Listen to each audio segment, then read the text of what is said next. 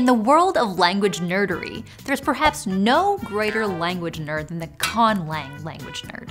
Conlang is short for constructed language, and it refers to languages that don't evolve from the organic forces of culture, but rather were deliberately designed by one or more individuals. Conlangers spend years, decades, even lifetimes building their languages. And let me tell you, there is a lot more to it than just making up a few or a few thousand words. According to the Language Construction Kit by Mark Rosenfelder, you have to decide on phonetics, morphology, orthography, syntax, and semantics, just for starters. It also helps to be familiar with lots of existing languages. If English is your only frame of reference, you'll be missing out on the wonderful variety of sounds and systems that humans have generated. Will your language be agglutinative, like Turkish? Will it have subject object verb structure, like Japanese? Or maybe ergative absolutive alignment, like Basque? I told you this was gonna get nerdy. It may not seem like there's much practical application for conlangs in the real world, but the history of invented languages deepens our understanding of language in general, its potential, its limitations, and its beauty.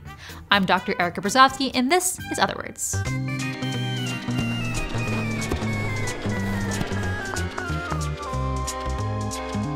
Other Words. Perhaps the most famous conlanger is J.R.R. Tolkien, linguist and author of The Lord of the Rings. Creating his fictional elvish languages, Quenya and Sindarin, was Tolkien's true passion and priority.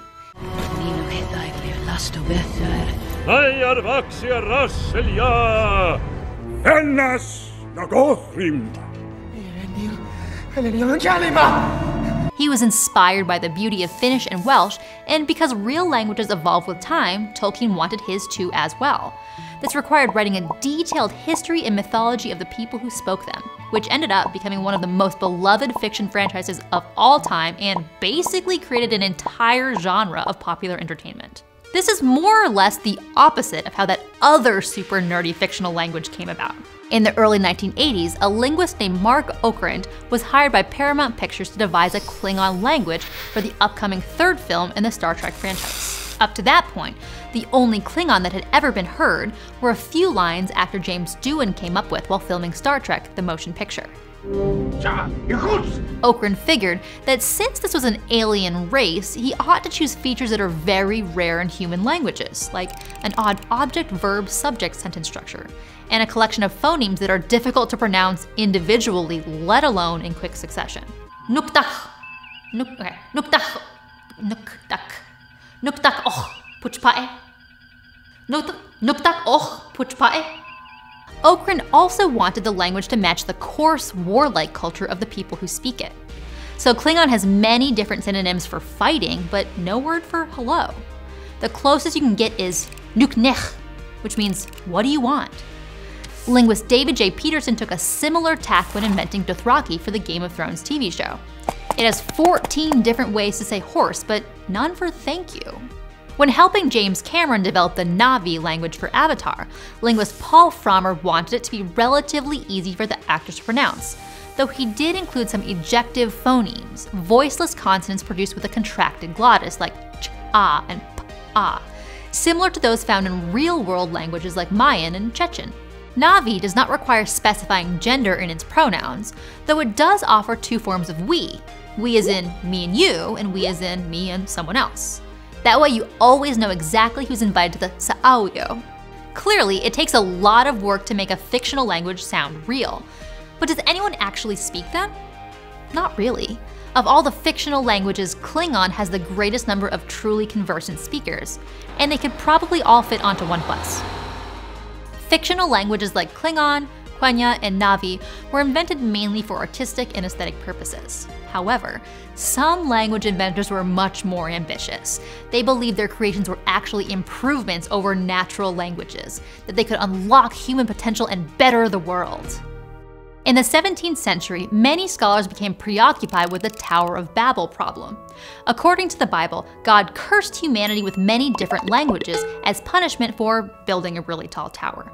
The inability to communicate, these scholars believed, was still holding civilization back, and they thought they could fix it by trying to outdo God once again with a man made universal language. The most famous attempt of the time was by Bishop John Wilkins, who didn't like that words were just arbitrary representations that had to be memorized.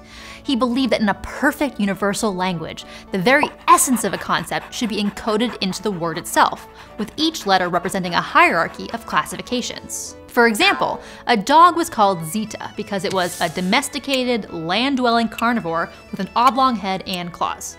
This barely makes sense when describing animals, but Wilkins tried to classify everything, and I mean everything. The result is hundreds and hundreds of pages of complex hierarchies, many of which are pretty subjective. For example, witchcraft is categorized under judicial relations subheading capital crimes.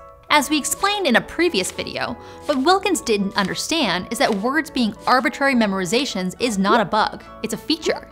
It allows us to share a vast mental dictionary that can be effortlessly and instantly accessed. We don't need to describe a dog every time we say it because we all already agree on what a dog is. Despite the failure of Wilkins' life's work, the dream of a universal language was resurrected in the late 19th century when a small book called Lingvo Internacia was self published by someone calling himself Dr. Esperanto, which means one who hopes. It was a guidebook for an international auxiliary language, a kind of backup language, which could be used by people from different nations to communicate with each other. The true author was L. L. Zamenhof, a Jewish ophthalmologist and amateur linguist who grew up in a diverse area of Poland. Like Wilkins, Zamenhof believed that a universal auxlang could benefit the human race, but unlike Wilkins, he wanted to be easy to learn. So he borrowed familiar morphemes from existing Indo-European languages like ham for man and am for love, and a very simple, predictable grammar. Anyone with a couple of years of Spanish under their belt should be capable of decoding simple sentences like Kio estas via nomo. Today, Esperanto is the biggest real world success story of all invented languages. There are hundreds of thousands of fluent speakers, including several thousand raised on it. However, it never quite became a universal auxiliary language, perhaps due to the rise in power of Britain and the United States after World War II, which cemented English's role as a de facto lingua franca. But international diplomacy isn't the only problem that conlangers have tried to fix. In the early 20th century, a linguist named Benjamin Whorf hypothesized that the language you speak limits your perceptions and cognition. Like maybe having more words for colors would actually enable you to see more colors. And maybe Klingons would be nicer if they did have a word for hello. Some even worried that humanity's reliance on language prevented us from understanding the true nature of the universe. Words might be Plato's shadows on the cave wall. Sociologist James Cook Brown wanted to test the Whorf hypothesis by inventing a language that could empower its speakers to shed all their preconceptions and think with perfect logic. Loglan, short for a logical language, is an example of an engineered language, one designed for theoretical or experimental purposes. Its grammar was based on first order logic, the kind used in mathematics and computer science, which makes literal translation sound more like equations than sentences. Loglan was designed to be totally unambiguous. There can only be one possible way to interpret a sentence. You can't just say that Romeo and Juliet fell in love, you must specify whether they fell in love with each other or individually with other people, whether they just happened to be in love while falling, or whether they landed in a pile of love. All the contextual clues and assumptions that lubricate our everyday conversations are forbidden. This makes Loglan so difficult that it's unlikely anyone speaks it fluently enough to actually test the Whorf hypothesis. Making things even more complicated, a disagreement between Brown and his closest supporters created a rift in the Loglan community, and a competing alternate version called Lojban. Disagreement is a common theme in conlangs. Even Esperanto had its schisms, with offshoots like Reformed Esperanto, Ido, Mundolinco, and Romániço. No matter how engineered a language is, no matter how controlling its creator, it will inevitably evolve to fit the needs of the people who use it. Like the dinosaurs in Jurassic Park, language, uh, finds a way. Conlangs may not have a stellar historical success rate, but they do a great job of revealing how we feel about language. We can be entranced by its beauty, fascinated by its variety, but also frustrated with its limitations, and even afraid of its influence over our thoughts.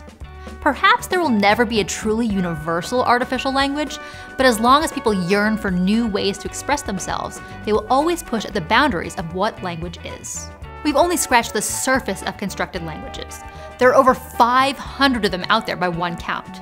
If you want to know more, you can check out Arika Okrent's book, In the Land of Invented Languages. Nuktak oh, puchpae. Nuktak oh, Nuktak oh, puchpae.